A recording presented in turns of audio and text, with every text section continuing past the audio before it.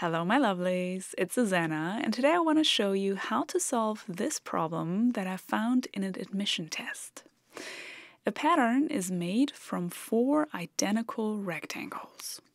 We can see the rectangles here, here, here, and here. The sides of the rectangles are parallel to the axis. So these sides here and here are all parallel to the y-axis and this side here and these here and here are all parallel to the x-axis. Work out the coordinates of C. Here is our point C. We don't know the coordinates yet.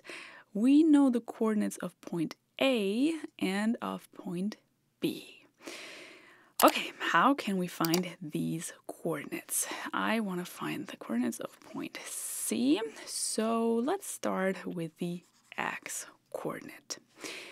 Well, here, this coordinate, I would like to know this. So here from my point, I can go down. I need to know where I am here on the x-axis to find this x coordinate we could start at point A because here at this point we know that the x coordinate is 3.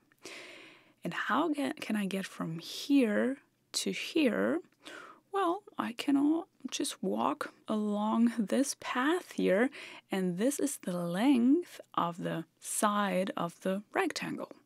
We don't know how long this side is, but let's give it a name. Let's call the length of the long side L for long. And we would start at 3, add L to get to this point here. So here we are at 3 plus L. This is the x coordinate of my point C. We don't know yet L yet, but this is our plan so far. What about the y coordinate? Um, so this time we go to the y-axis from this point uh, here. This is what I need to know where I am here. We can start from point A again because at this point on the y-axis, we know that we are at 4. So here we are at 4. And how can we get from here to here? Well, we can just walk this way this time, which is the short side of my rectangle. We don't know yet how long this side is, but let's give it a name. Just call it S for short. And we get from here to here by taking the 4 and adding the length of the short side, so plus s. So that my y coordinate is going to be 4 plus s. So if we know L and S, we can find the coordinates of our point C. Let's try and find L and S. We haven't used our point B yet. So maybe now it's time to do that. Um, I mean, here we also have an x coordinate. Let's start with this. So if we go down here to the x axis, we know that we are at 11 at this point. If we compare it with our point A, where we were at 3, we know that, okay, here we are still at 3. So from here to here, it is eight steps. How can I get from here to here using my rectangles? I can start at this point and walk the long side of the rectangle. Then from this point, I can jump here and walk the long side of the rectangle, but then I'm too far. I would be here then. I don't want to be here. I want to be here at the 11. But okay, I could just subtract this part here again, which is the short side of my rectangle. So, what did I walk? I took the long side, so L, plus the long side, which was too much, and then I wanted to subtract S again to really get to this point. So let's subtract S, and then we know that we walked how far? Eight steps. So this has to be 8. This is a first equation. We will need a second equation because we have two variables, but the good thing is we also have our y coordinates.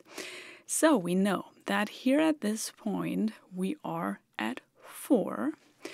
At the point B up here we are at 20. So in total we walk 16 steps this time. Let's walk. We start from here. Take the short side. We take the long side, and then we take the long side again, and we get to the point where we want it to be, which is perfect. So we have S plus L plus L, which is 16 in total. This is my system of equations, and now we only have to solve it. Maybe let's uh, simplify a little bit because we have L plus L, which is 2L here. And here we have L plus L again, which is 2L again. And we take our system of equations and try to solve it.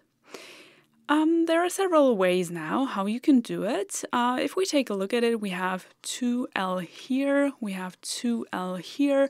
So one way could be to just subtract the equations because 2L minus 2L, this would cancel out. But if you also take a look, we have minus S here and a positive S here. So if you wanted, you could also just add the two equations and minus s plus s, then they would cancel each other out.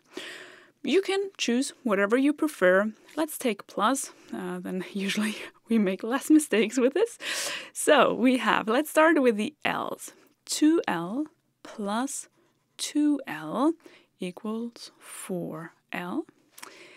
Negative S plus positive S we just figured out that this cancels out.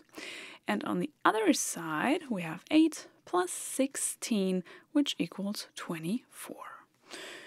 A simple equation here. If we want to solve for L, we have to get rid of the 4 here. So let's divide both sides of the equation by 4. This cancels out, and we know that our L is 24 over 4 equals 6. The long side of our rectangle is of length 6.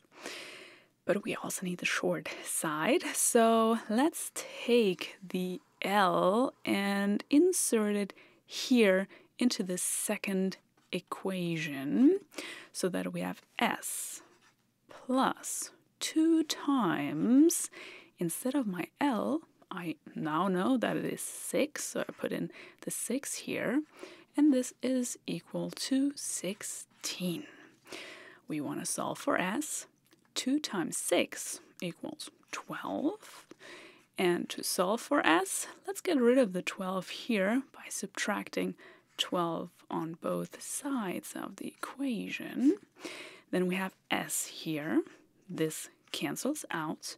And on the other side, 16 minus 12 equals 4. So the length of the short side is 4. Let's go back to our C coordinate and we can calculate the coordinates now. 3 plus 6 equals 9 and 4 plus 4 equals 8 and we solved this problem. I'm curious how you solved this problem, so please let me know in the comments. I wish you a wonderful day, and I hope to see you in one of my next videos. Take care!